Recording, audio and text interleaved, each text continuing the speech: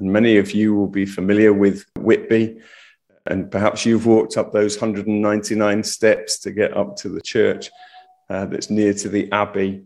When we were up there and then looking back down to the harbour, you can see the two harbour piers that form a protection.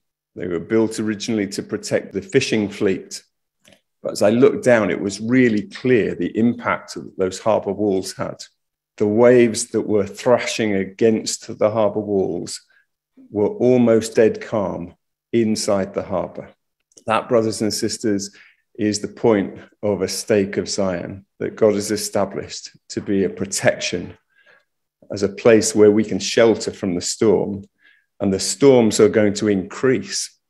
We think they're fairly violent now in the world, they're going to increase.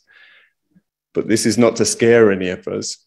There is safe harbor in the church of Jesus Christ. There is safe harbor when we have the love of God in our hearts and we reach out to others and make them feel at home where it is safe. I bear my witness of Jesus Christ and of this work in the name of Jesus Christ. Amen.